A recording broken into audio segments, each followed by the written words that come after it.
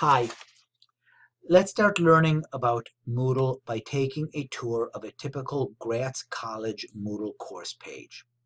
Chances are the course you will be working on will look something like this before you start. This is a typical basic Moodle course format.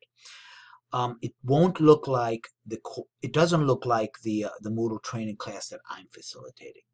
Moodle is very robust, and as you get to know it, you'll be able to change its appearance. What you should keep in mind is that just as content is important, the way it is delivered can impact on the ease of use and motivation of your students. We'll go into design in the next few weeks. Anyway, following Julie Andrews' lead, let's start at the very beginning and at the very top. I'm going to click on my name, or your name in your class, and you will see my home, my profile, and log out. If you click on my home, this takes you to your Gratz College homepage. Just all the courses you're involved with, all the courses you're teaching or taking. You click on the course you're taking at the moment, and you go back to where you started. Click on the name again. You have your profile, which is my profile. We'll go into this in a little bit. Log out. To make this um, dashboard go away, just click on your name, go home, go back to the class, and here we are. On the extreme left, you're going to see some links in a row. In Moodle technical language, they are called breadcrumbs. They are navigational tools. Click on each link and you'll be taken somewhere else. The last link is the one, the furthest on your right is the one where you are now. To the right side is the magical Turn Editing On button.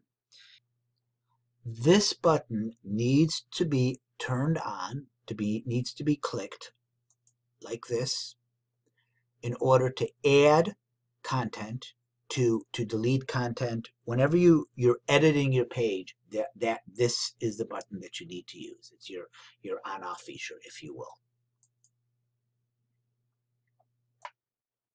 Below that are modules called blocks. Each block has a specific purpose. Some you'll use more than others. Some you won't use at all. Here's a quick overview. Search Search Forums, it's a search engine in which you can find specific topics in your course forums. More on that later. Latest news. This is where any course updates that you have posted would appear. Again, we'll talk about that a little bit later.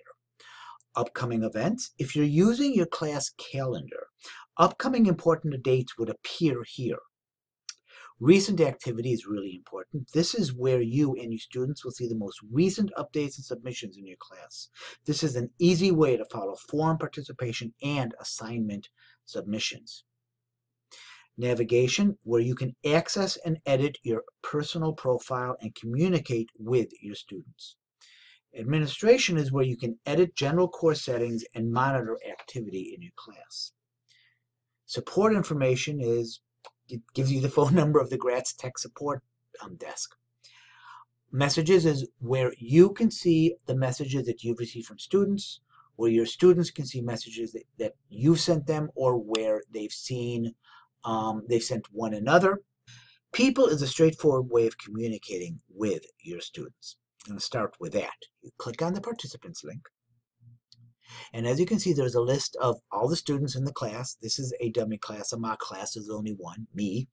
Um, you can select by clicking the box next to the individual students or select all the students. You can click on choose, send a message, type in your message, hello there.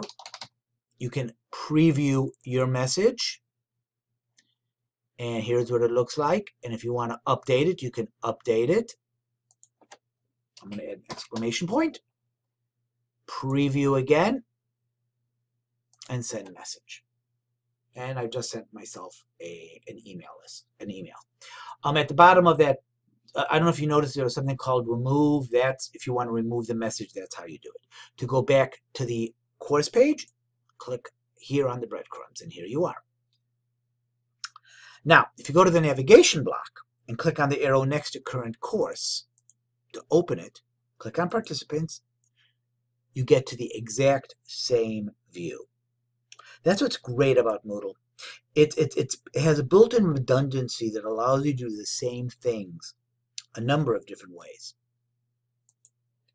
The blocks don't always have to be visible. You can make them go away. You can minimize them by clicking the minimizing button. Or you can make them disappear entirely by docking them, by clicking on this little button here, dock latest news block, dock upcoming events. This way it's put to the side. You can always bring them back by clicking on the undock button. The center of the course page is where the course content appears. This will be the focus of the next few weeks. See you soon.